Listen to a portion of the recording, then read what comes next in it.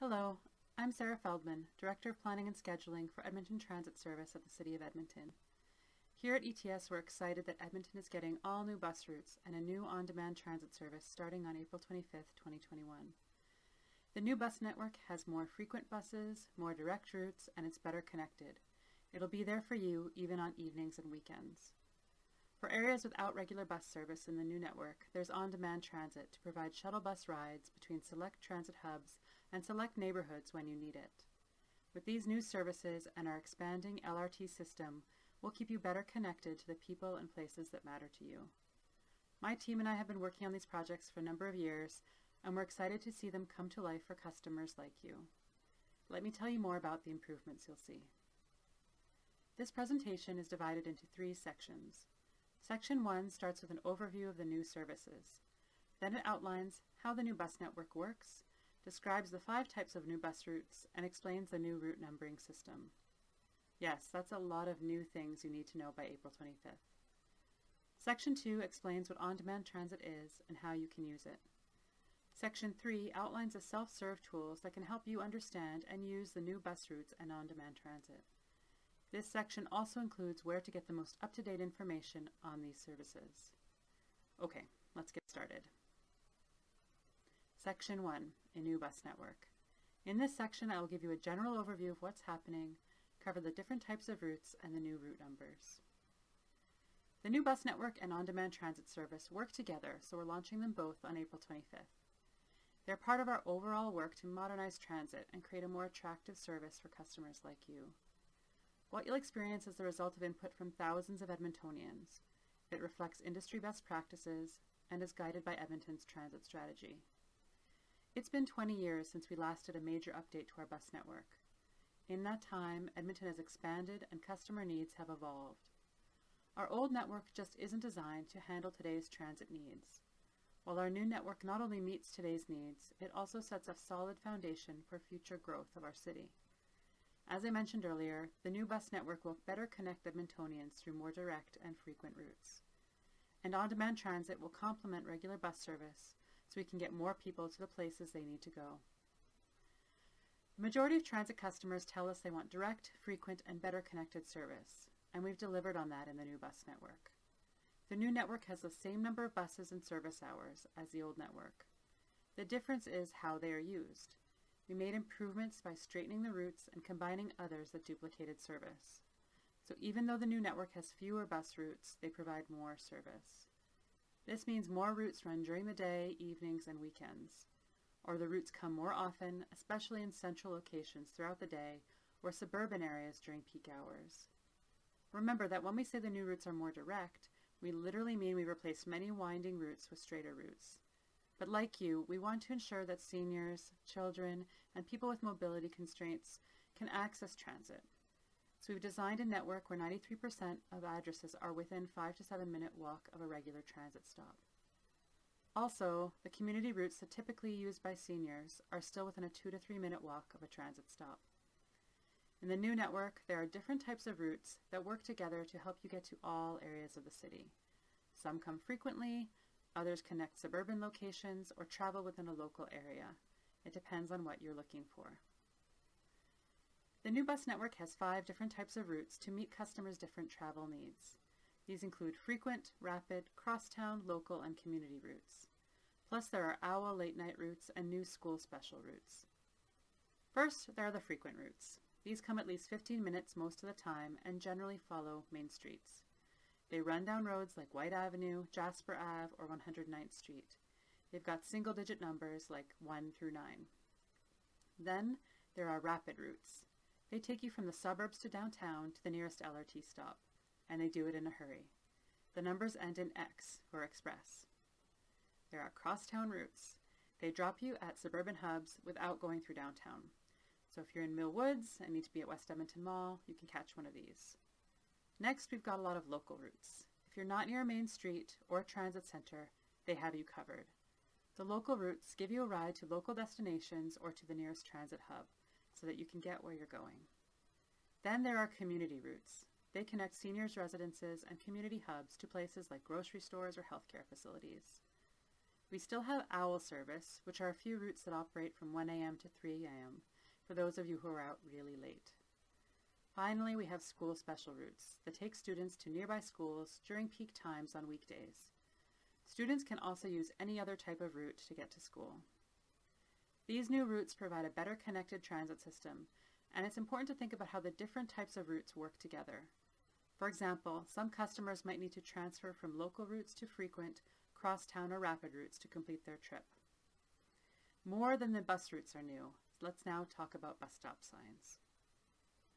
There are all new bus stop signs. These are a great way to see what's going on in your neighborhood. Each sign has a temporary sticker on the front that provides important information about what's happening at each stop on April 25, 2021. The first type of sign are existing bus stop signs that will have service in the new network. These will have a red and white sticker. Routes that are using the bus stop until April 24th are listed in the red section. The new route numbers that start using the bus stop on April 25th are listed in the white section. The second type of sign are brand new bus stops. These new bus stop signs have a yellow sticker saying that the service starts on April 25th. The new route numbers that start on April 25th are listed in the white section. The third type of sign are closing bus stop signs. These have a red sticker. The bus route numbers that stop running after April 24th are listed in the white section. In some areas, regular bus service is being replaced with on-demand transit shuttle service. These closing bus stops have a red and blue sticker. The bus routes that stop running after April 24th are listed in the white section, and these will be replaced with on-demand service. After April 25th, the temporary stickers will gradually be removed from existing and opening bus stop signs. The closing bus stop signs and poles will be removed entirely. Bus shelters at closing stops will be removed and will be placed over the next few years at busy bus stops that can, that can accommodate a shelter. If you take a closer look at the new bus route numbers, you'll see they're different from the old numbers. There is also more information on each sign to help you make your transit trip, which I'll explain next. A new bus network means we need to update bus stop signs all over the city, so we took the opportunity to improve them the signs have new features to help you get around more easily, including a larger bus icon to improve visibility and route numbers with destinations.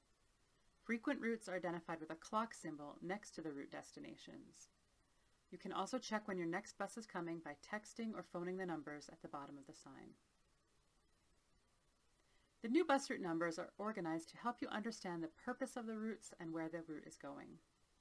Single and double-digit routes travel from one area of the city to another. Frequent routes are 1 through 9. These routes are part of the backbone of the network, so we want an easy way to identify them. But remember, even if the numbers look similar to the old routes, they go to different places at different times. Crosstown routes are 51 through 56, and they connect suburban areas in different quadrants of the city. Most three-digit routes operate mainly in one area of the city. These are rapid, local, and community routes. They start with 1, 5, 7, and, or 9. Imagine a clock face laid on top of a map of the city. The clock arms point to different areas in Edmonton. So their 100 routes are in the north, the 900 routes are in the west. Have a closer look at this diagram on the slide. Some three-digit routes identify special types of service. So school specials start with a 6, routes operated by St. Albert Transit continue to start with a 2, and routes operated by Strathcona County Transit continue to start with a 4. Route numbers that also contain a letter show that they provide a special service. For example, rapid or express routes have an X at the end of their route number. These routes have fewer stops and carry suburban commuters to central locations. And route numbers that end with an A or a B indicate that they have branches of their route, in other words, they take slightly different paths during their trip. So all new bus routes, bus stop signs, and route numbering. That's a lot to take in by April 25th. We want your first day on the new network to go smoothly, so we're providing information and self-serve tools to help you succeed. These are explained in Section 3 of this presentation. Section 2, coming up next, is about Edmonton's new on-demand transit service. It will connect select neighborhoods and seniors' residences to a nearby transit hub where passengers can transfer to a regular bus or LRT route. Section 2, On-Demand Transit.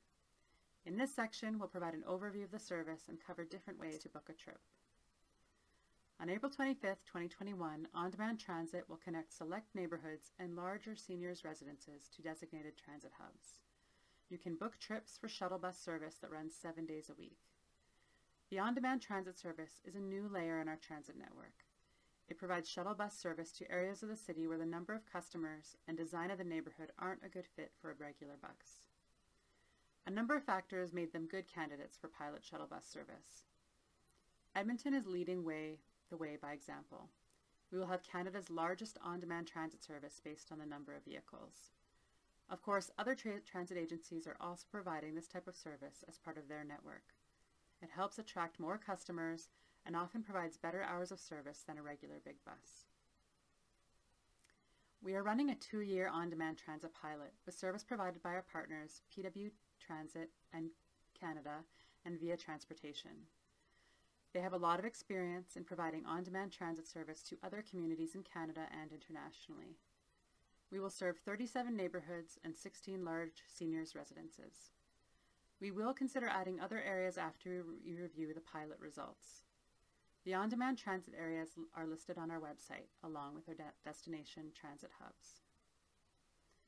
The purpose of on-demand transit is to connect you to the neighborhood's designated transit hub where you can get a transfer to a regular bus or LRT.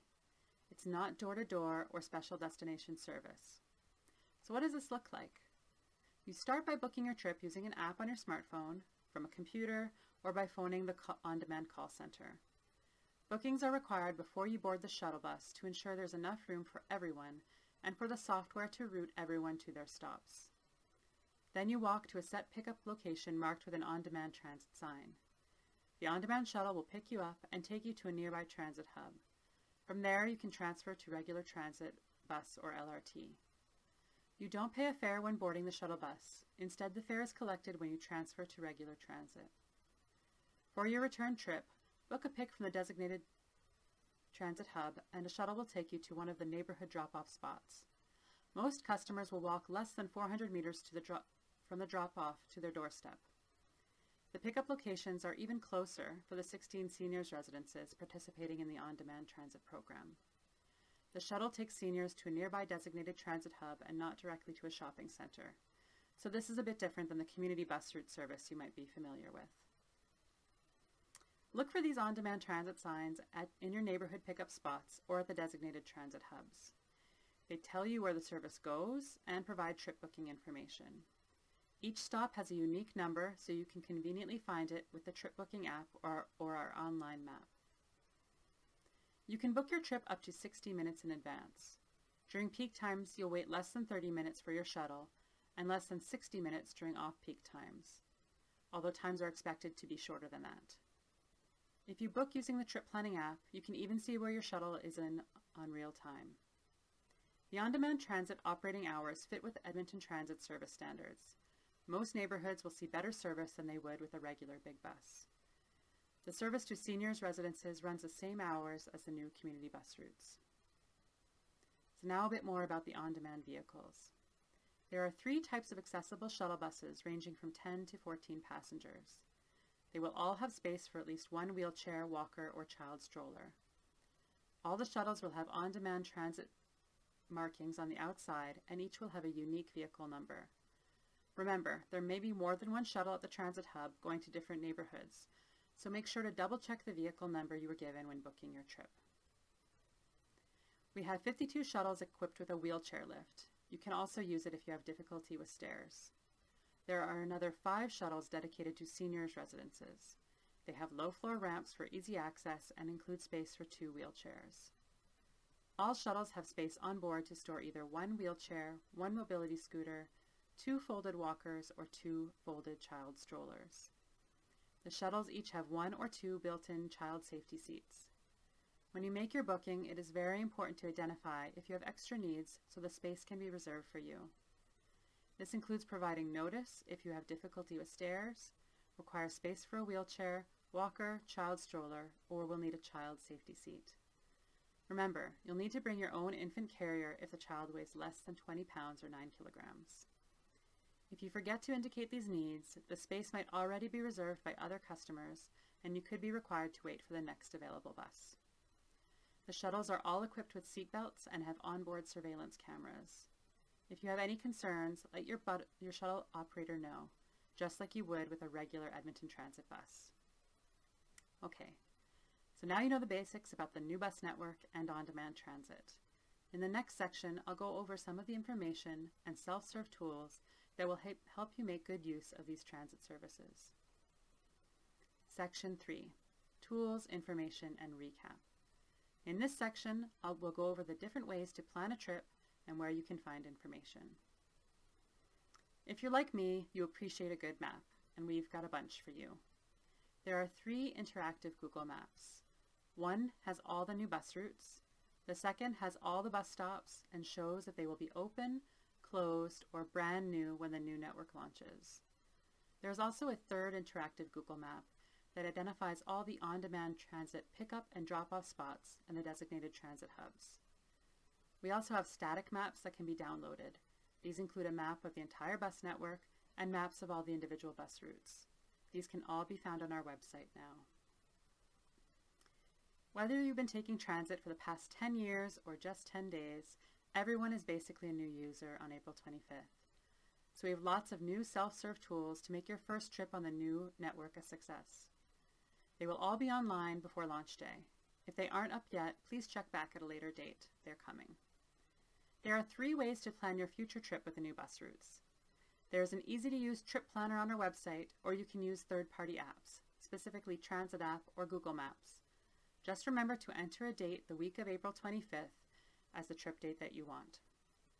Speaking of apps, there's also one called Edmonton On Demand Transit for booking trips with this new shuttle bus service. It will show you a real-time map of where your shuttle bus is en route. Some people prefer the old school style route brochures with maps and schedules. These will be available online first. Some will be printed out, but distribution will be limited. There are also printed overview guides that provide a handy reference for the new bus network and on-demand transit service. It has the same information or more and is list that is listed on our website. If you prefer visuals, there are several videos that provide highlights of these new services and even a how-to guide for trip booking for on-demand transit. We figure you'll have plenty of questions, so we've developed a chatbot that you must that will answer most of them. The chatbot's available on our website and will be able to answer your questions when you call 311 in the future.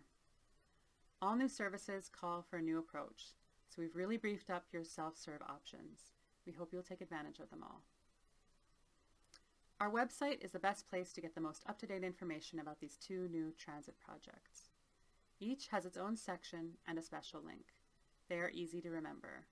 edmonton.ca slash new bus routes and edmonton.ca slash on-demand transit.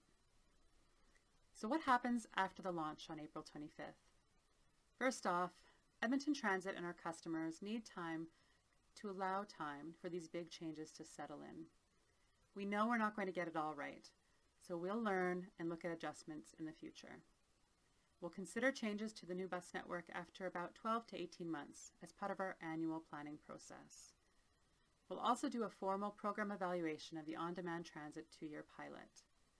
Rest assured that feedback from customers like you is taken into account when we look at how well service is working out. To that end, we have a public feedback form online to capture your suggested future improvements. We'll look for trends in the comments once the system has had a chance to find its feet, or wheels, so to speak. So there you have it. Edmonton Transit is providing you with all new bus routes and on-demand transit service.